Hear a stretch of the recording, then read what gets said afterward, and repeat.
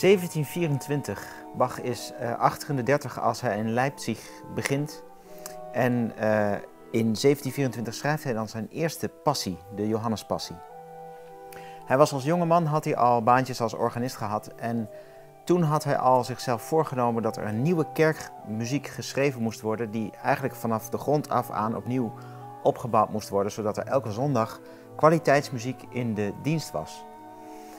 Maar uh, ja, het leven is niet altijd in een specifieke richting te buigen. En Bach kwam eerst bij de vorst van Anhalt-Keuten terecht, waar hij een aantal jaar gewerkt heeft en uh, wereldlijke muziek heeft geschreven. Natuurlijk ook geweldige meesterwerken. Maar toen die periode voorbij was en hij uh, naar Leipzig ging in 1723, toen begon voor hem echt het moment waarop hij aan die kerkmuziek kon gaan werken. En niemand had daarom gevraagd. Maar hij begon vanaf de eerste week voor elke zondag een nieuwe kantate te schrijven. Een enorme klus, want elke zondagdienst heeft zijn eigen specifieke uh, boodschap en uh, zit in, op een bepaald moment in het kerkelijk jaar. En Bach wilde echt voor elke zondag een aparte kantate schrijven. Enorm werk. Hij had ook een hele trits kinderen, hij had een hele trits leerlingen, hij had verantwoordelijkheden, hij moest ook voor de instrumenten zorgen, voor de orgels en de klaversymbals, dat het allemaal in orde was. Hij gaf ook nog concerten in de stad. Dus hoe hij dat allemaal heeft klaargespeeld, dat uh, blijft mij toch een beetje een raadsel.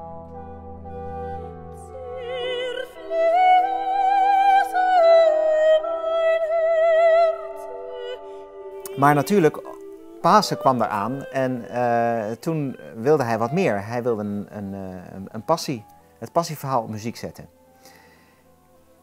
En de Johannespassie kan je eigenlijk zien als een soort superkantate. Dus in zijn kantates, uh, die hij week na week schreef, uh, bouwt hij op, uh, voegt hij een toenemende dramatiek toe. en dan komt hij bij de passietijd en dan ineens explodeert het als het ware. En deze muziek was letterlijk ongehoord in Leipzig. Leipzig was een enorm conservatief, behoudend protestants milieu. Uh, in 1700 schreef Brokkes al een passietekst die in um, passie-oratoriumvorm in, een in concertzalen werd uh, uitgevoerd in Hamburg en verschillende andere steden. Dat, die tekst was heel populair door heel Duitsland en, en die, die passies die daarop geschreven werden. Maar de passie van Telemann op die tekst werd in Leipzig pas in 1717 uitgevoerd. Dat is heel lang tegengehouden. En Kuhnau, die de voorganger was van Bach als kantor van de Thomaskirche, die schreef pas in 1721 heel voorzichtig een eenvoudige passie. Maar in principe was het zo dat in Leipzig werd nog de oude Johannespassie van Johann Walter uh, gedaan. Dat, die, die, kwam nog uit de tijd van Luther, uh, uit Wittenberg. En dat was gewoon eenstemmig, van begin tot eind. Misschien aan het einde een, uh, een, een kerklied dat nog gezongen werd. Maar het was gewoon de Bijbeltekst, heel droog zeg maar, eenstemmig gepsalmodieerd, zoals dat heet. En uh, ja, dan kwam Bach met zijn cantates. En er stond in zijn contract, hij mocht niet te veel uh, muziek schrijven die te veel op opera ging lijken. Want het moest allemaal vroom en, en um, netjes blijven daar in Leipzig. Bach heeft dat ondertekend, maar een genie kan je natuurlijk niet in een hokje stoppen. En uh, als je naar het begin van de Johannes luistert, dat was ongehoord daar, zoiets.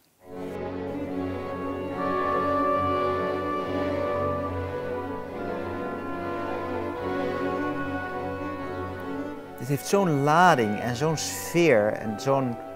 Die woelige strijkers met die da da di di da da da di, die constant beweging. En dan die blazers die daarboven zitten met die snerpende dissonanten. Dat komt echt uit de Italiaanse opera. Dit is natuurlijk enorm dramatische muziek. Dwars tegen alle contracten van uh, Leipzig kerkenraden in. Maar Bach liet zich inspireren door die tekst en uh, hij schreef deze muziek. Dat kon hem niet schelen.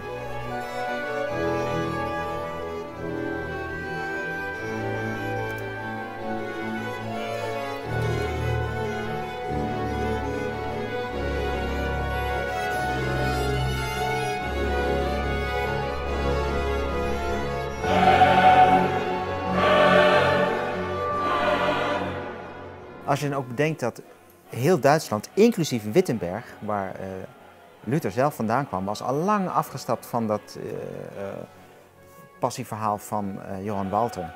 Alleen in Leipzig werd het nog steeds, elk jaar werd dat uitgevoerd.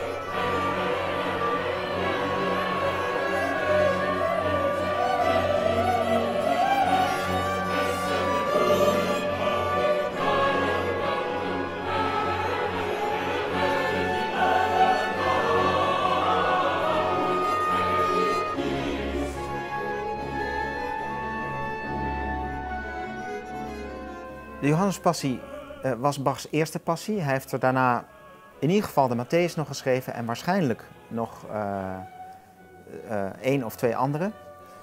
Um, maar ja, die, die zijn niet teruggevonden. Er is een reconstructie van een um, Marcuspassie, maar ja, we weten in ieder geval zeker dat hij die Johannes en dat hij die Matthäus heeft geschreven. En de Johannes is veel kleiner dan de Matthäus. Matthäus is in Nederland de meest bekende. Die heeft die twee orkesten en twee koren. De Johannespassie heeft dat niet. Die is veel kleiner. Hij is korter. Heeft maar één orkest, één koor. Uh, en natuurlijk uh, solisten. Um, ter vergelijking, de Matthäus heeft 17 aria's en de Johannespassie heeft er maar 9. Dus het is ook veel korter. Heeft ook met het evangelie te maken waar het op gebaseerd is. Want het, het leidersverhaal bij uh, Johannes begint daar waar het in Matthäus zit je al aan het eind van het eerste deel van, van, van de passie eigenlijk. Dus niet alle passages die in Matthäus voorkomen staan ook in het uh, Johannes-evangelie. Het verschil van die twee evangeliën zit ook in de nadruk die ze leggen in het portret dat ze van Jezus uh, laten zien. Matthäus legt meer de nadruk op uh, God die mens is, waardoor ook het lijden meer nadruk krijgt en, en de emotionele lading daarvan. En bij Johannes is het eigenlijk precies andersom. Het is meer de goddelijkheid van de mens Jezus die benadrukt wordt. Dus Jezus wordt afgebeeld als iemand die veel meer soeverein door uh, zijn um, missie heen gaat en ook door dat lijdensverhaal. En met veel meer nadruk op de overwinning die uiteindelijk daaruit volgt en de manier waarop hij eigenlijk steeds boven de situatie uh, staat. Het Johannes-evangelie is ook het evangelie van de paradoxen.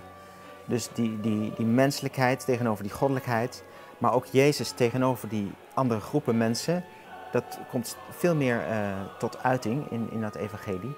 En Bach was natuurlijk veel meer dan een muzikus die een libretto op muziek zette. Hij was zelf een halve theoloog. Hij had een enorme bibliotheek met bijbels, prachtige bijbels en, en bijbelcommentaren. En hij wist heel goed wat ook theologische verschillen waren tussen Matthäus en Johannes Evangelie. En dat komt ook tot uiting in de muziek. Neem bijvoorbeeld dat openingskoor, wat zo dramatisch voelt en zo, zo eh, donker en dreigend. Je voelt van oeh, hier gaat wat gebeuren. Je wordt meteen als het ware dat drama ingezogen. Maar als je dan naar de tekst kijkt van het eerste deel, dat staat daar haaks tegenop lijkt het wel. Herr, onze Herrscher, dessen roem in allen landen herrlich ist.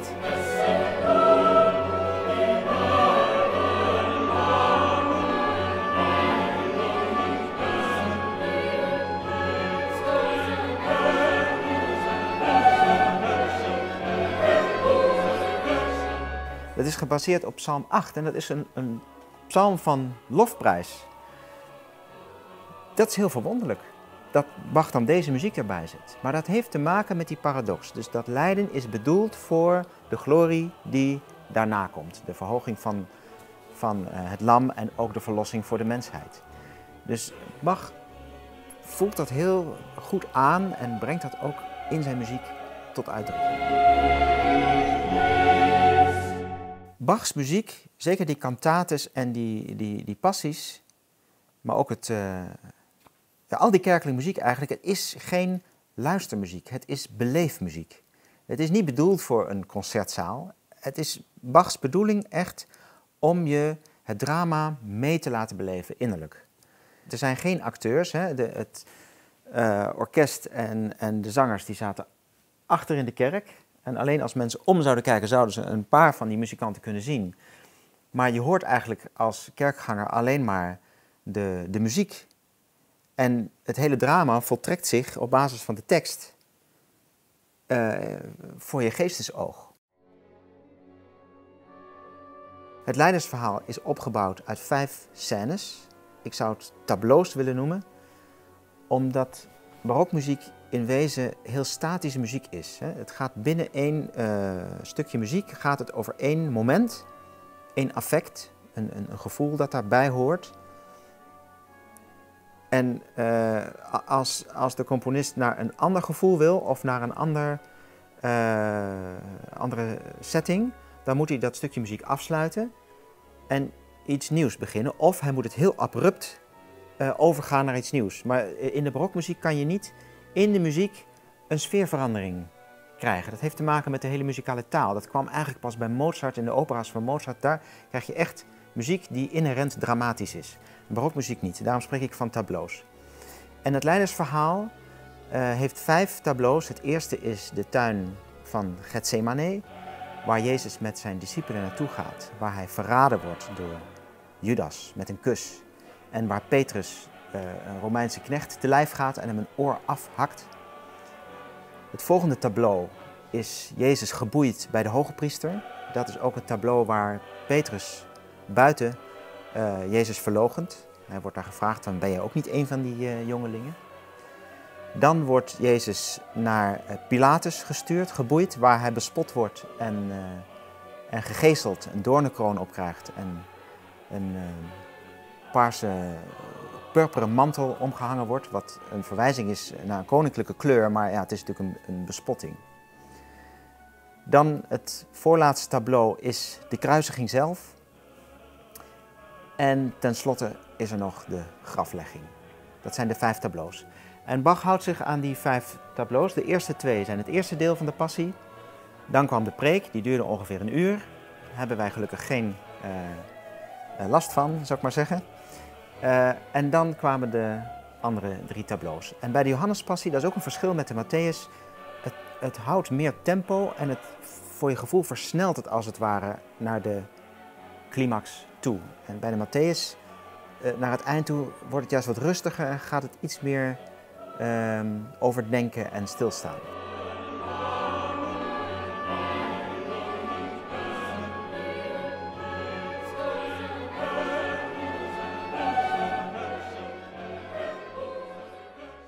De Bijbeltekst wordt weergegeven door recitatief. Dat is uh, een tenor met continuo. Continuo, dat is uh, met een basinstrument of meerdere basinstrumenten.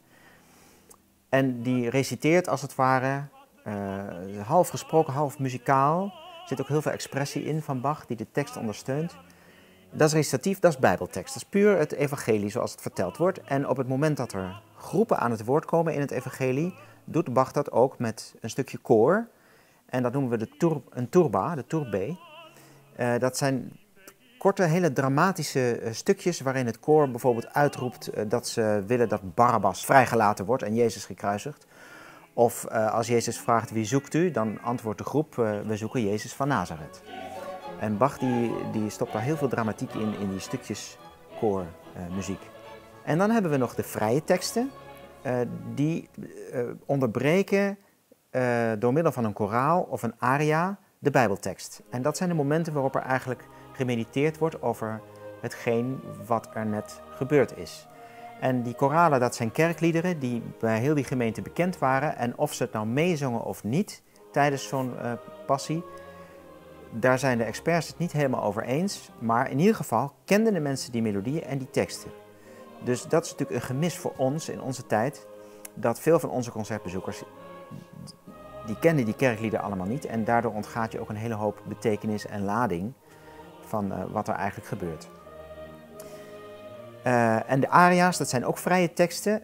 In het geval van de Johannespassie zijn dat vooral uh, teksten die gebaseerd zijn op die fameuze tekst van Brokkes, maar door Bach of door iemand die Bach daarbij hielp, dat, dat is ook niet helemaal bekend hoe dat ging, gereduceerd tot een beetje een eenvoudigere taal. Brokkes was enorm barok in zijn taal, heel zoetsappig met allemaal metaforen en uh, bijvoeglijke naamwoorden doorspekt. Uh, allemaal tierenlantijntjes. Een beetje zoals het bij mijn oma vroeger aan de muur was. Hè? Allemaal schilderijtjes en dingetjes en zilveren lepeltjes en alles erop en eraan, engeltjes. Uh, dat heb je in die tekst Van Brokkes ook, maar Bach brengt dat al een beetje terug. Er is ook een verschil met de Matthäus. Matthäus is door uh, Picander, waar Bach mee samenwerkte, helemaal, die heeft het hele libretto van de Matthäus gemaakt, waardoor die tekst van de Matthäus wat meer een eenheid is, wat meer eenvoud en het evangelie staat er iets meer centraal als tekst. Vind ik wel een kracht van, van de Matthäus overigens. Muzikaal kan je zeggen dat de Johannes geen millimeter onderdoet voor de Matthäus, maar op tekstvlak zou ik zeggen, heeft de Matthäus mijn voorkeur. En in dit alles zoekt Bach, genie als hij was, voortdurend naar uh, de meest expressieve muzikale uiting van wat de tekst te bieden heeft. Dus hij kijkt altijd naar de tekst en dan kijkt hij van hoe kan ik dat muzikaal verbeelden. Voor ons luisteraars is het een beetje andersom. We horen dingen en dan gaan we kijken, oh, wat is de tekst? Uh, maar het is een leuke oefening om voordat je naar het concert gaat, eerst eens te kijken van hoe Bach die relatie legt tussen tekst en muziek. En om dat te doen wil ik een paar aria's even gaan bekijken uh, hoe Bach die link legt tussen de tekst en de muziek en die barokke expressie en die dramatiek uh, in de muziek legt.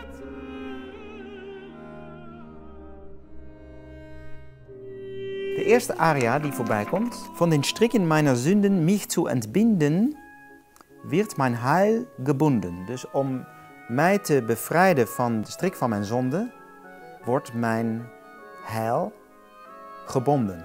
Jezus wordt gevangen genomen om, om de verlossing uiteindelijk te bewerken. En die tekst heeft het dus over strikken mijn Sünden. Die heeft het over entbinden, losmaken.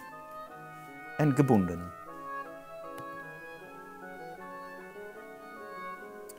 Dus hij doet het met twee hobo's die een soort kanon spelen.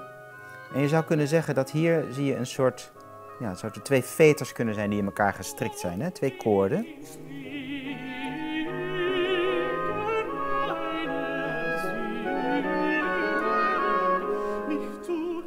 En bij entbinden zie je dat de twee hobo's samen zijn.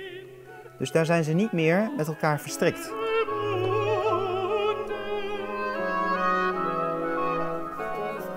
Zo, zo, zo uh, laat hij zich inspireren door de tekst en komt hij met, uh, met uh, hele inventieve dingen. Ik, ik stel me ook voor, ik zie in die twee hobo's ook wel, Jezus staat gebonden voor de hoge priester. Hè? Dat zie je ook in dat, heel mooi in dat schilderij, dat zijn handen gebonden zijn. En daar, daar kan, kunnen deze twee hobo's natuurlijk ook een symbool voor zijn. De volgende aria is ook mooi, dat is Ich folge dir gleichfalls. Het is een reactie op uh, de Bijbeltekst Simon Petrus volgde Jezus en zijn andere discipelen. Dat wordt heel simpel gezegd en dan komt deze aria. Bach haakt daar meteen op in. Ja, dat is een mooi beeld dat ik ook volgeling van Jezus wil zijn.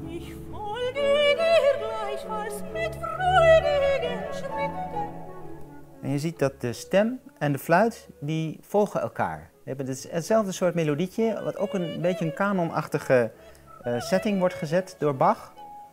En ook die freudige schritten natuurlijk, hè? dat hoor je ook helemaal in die muziek.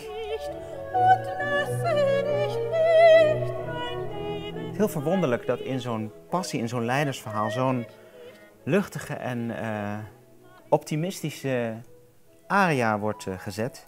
Maar ook dat heeft natuurlijk ook weer een link met uh, het Johannes-evangelie, wat uiteindelijk heel erg gericht is op die uiteindelijke glorie, die goddelijkheid van Jezus, die uiteindelijk alles tot een goed einde zal brengen.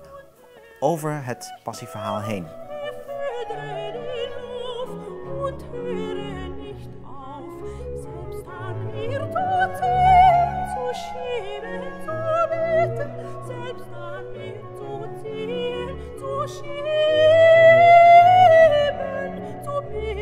Volgende aria is Petrus die heeft Jezus verlogend en de haan heeft gekraaid. En hij beseft opeens wat er aan de hand is, wat hij gedaan heeft. Hij heeft zijn, zijn verlosser heeft hij verlogend, zijn meester heeft hij verlogend. En zo meteen als de tekst komt, dan hoor je dat hij zingt... Uh, Mijn zin, wo willst du endlich hin? Uh, uh, hij weet zich eigenlijk geen raad, hè? hij weet niet waar hij naartoe moet. En dat hoor je in die muziek, het komt maar niet tot een punt waar je denkt van... oh ja, hier wil hij naartoe.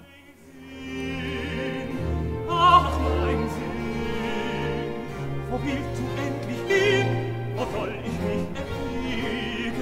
Ach, wo soll ich mich erquiegen? Zie je, daar is, daar, de strijkers maken daar eigenlijk een afsluiting, muzikaal. Maar op de slotnoot is de zanger alweer vertrokken.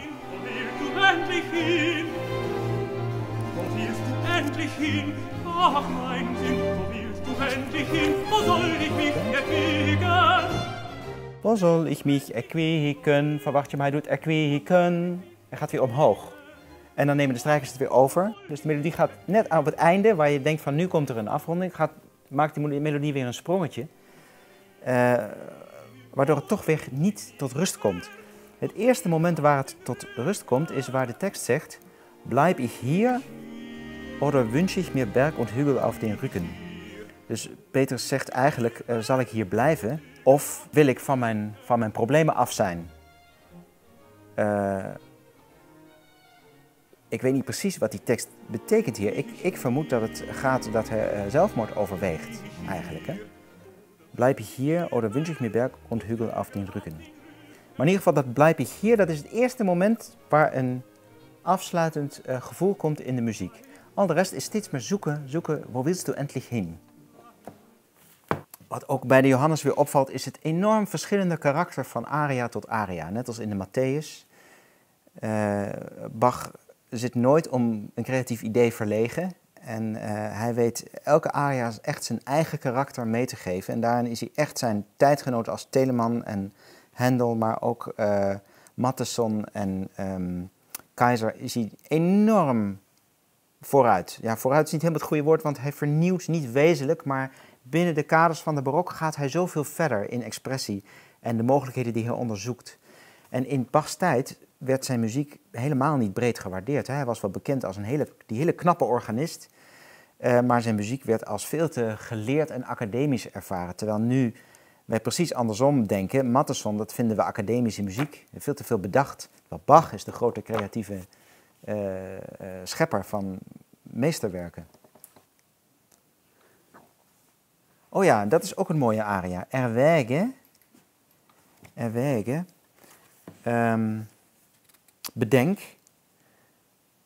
Uh, wie zijn bloed gefärbte Rücken in allen Stücken dem Himmel gleiche geht. Het is een beetje brokkensachtige tekst.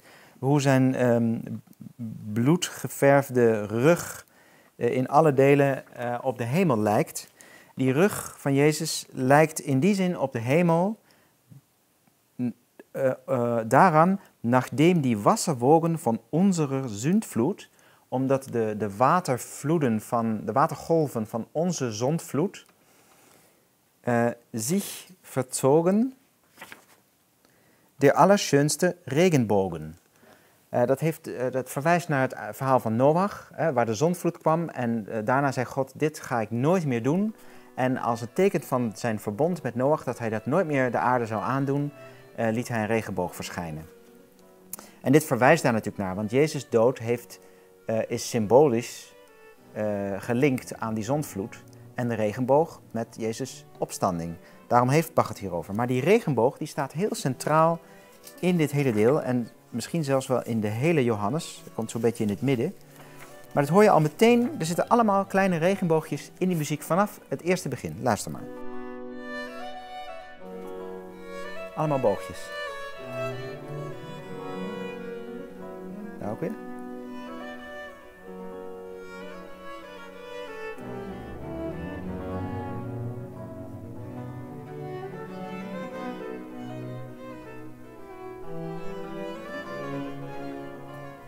hier, kijk, hier zie je al dat het patroontje verandert.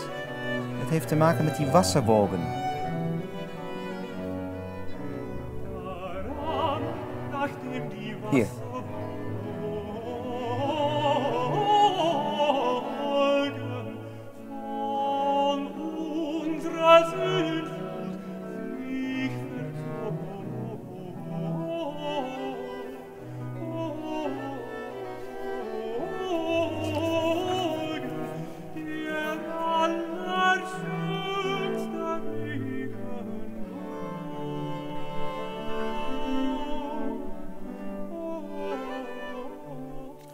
Ziet, je ziet dat hij... Hier maakt hij ook grotere regenbogen, zie je? Je, hebt deze kleintjes van het begin. Maar er zit in die muziek zitten ook nog grotere structuren die ook zo'n zo'n boog maken.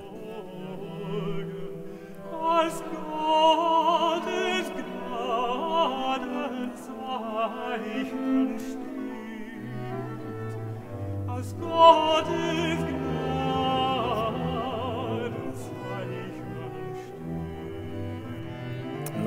Hier ook, een, hier zit ook een grote.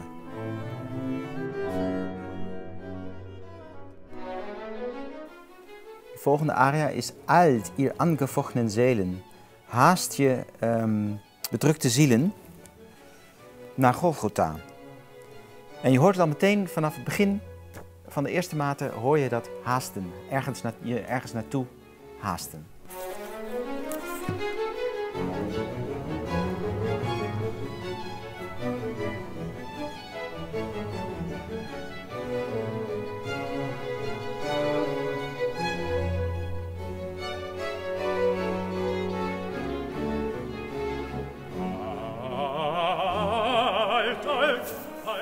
En zo meteen komt dan de vraag van Eilen, wohin? Dat zit een wohin, wohin. En dan moet je opletten wat hij daarmee doet in het ritme van de maat.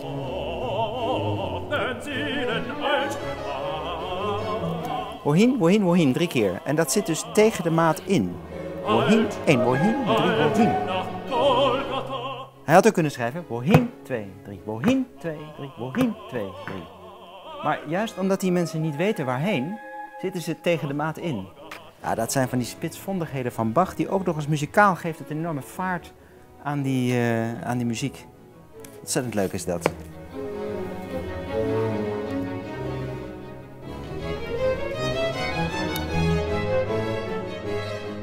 Dan Es is volbracht. Dan zijn we eh, bij het vierde tableau, bij de kruisiging. Es is volbracht. Dus vlak voordat hij sterft.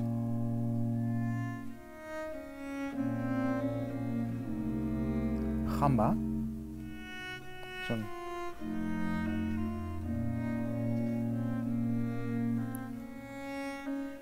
Wat hier opvalt is um, dat dalende lijntje. Da -di -da -di -da -da -da -da. Jezus sterft. En wat ook opvalt is dat het themaatje begint steeds niet op de eerste tel, ook niet met een opmaat voor de eerste tel, maar daarna. Dus die die ademhaling van die eerste tel van de maat, dat geeft een soort, soort zuchtende kwaliteit aan, aan die muziek. En dat komt uit de, de Franse luidmuziek van de 17e eeuw, een tombeau. Uh, muziek waarin een, een gestorven graaf of een gestorven edelman of een belangrijk figuur werd uh, herdacht. Daar kwam het idee uit. Ook zo'n zo'n dalend figuurtje dat steeds herhaald wordt komt uit die uh, stijl. Dus Bach grijpt terug op een stijl die voor dit moment in het evangelie, waar Jezus sterft, heel uh, logisch en heel passend is. En ook die bas, die doet uh, 1 en 2 en 3 en 4 en 1. En dat is eigenlijk ta, pam, pi, pam, pa. Dat noemen we een gepuncteerd ritme. In plaats van 1, 2, 3, 4 heb je 1, 2, 3, 4, 1. Dat, dat gebruikt hij ook in het openingskoor van de Matthäus. da, da, da. Dat die bassen doen. Pam, pam, piem, pam, pam, pam, pam. Dat is ook typisch voor zo'n tombeau.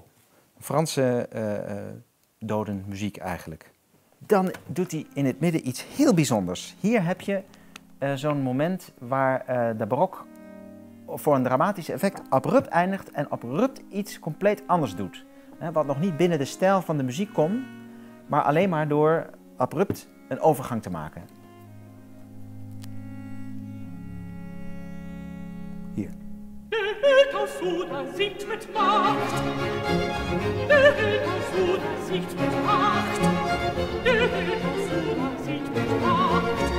het heeft met de tekst te maken. De held als, als Juda ziekt, niet macht. En dit is wat men noemt stile concitato. Dat komt uit de opera's van Monteverdi. Eh, waar heel veel herhaalde noten en heel uh, opgewonden gedoe in het orkest. Eh, dat werd voor oorlogsmuziek gebruikt. Hè? En hier hebben we het natuurlijk over een overwinnende held. Dus Bach grijpt terug voor die tekst op een compleet andere stijl. Hij gaat van de Franse tombeau naar Italiaanse opera. Eh, van eh, Monteverdi. En dat zet hij allemaal prachtig naast elkaar.